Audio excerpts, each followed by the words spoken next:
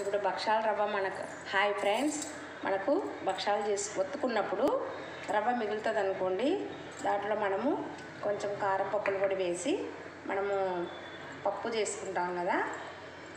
ఇంట్లో పప్పు చేసుకున్నప్పుడు ఏ రకం పప్పు అయినా సరే అందులో వేసి దీన్ని ఇలాగ కలుపుకొని గట్టిగా చేసుకొని ముద్దలాగా చేసుకోవాలి ఫస్ట్.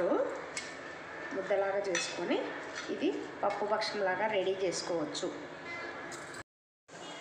పెన్నం వేడెక్కినాక ఇట్లాగా తిప్పుకొని మనము రోస్ట్గా కాల్చుకోవాలి. చూడండి పప్పు భక్షాలు ఎంత అందంగా ఉన్నాయి.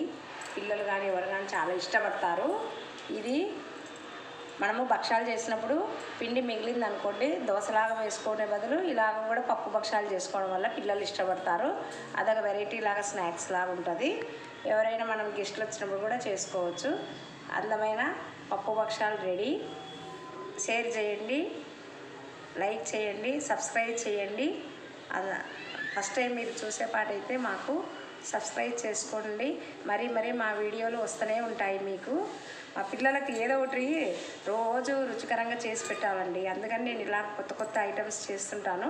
మీరు మరీ మరీ మా వీడియోలు చూస్తూ ఉండండి. Thanks for watching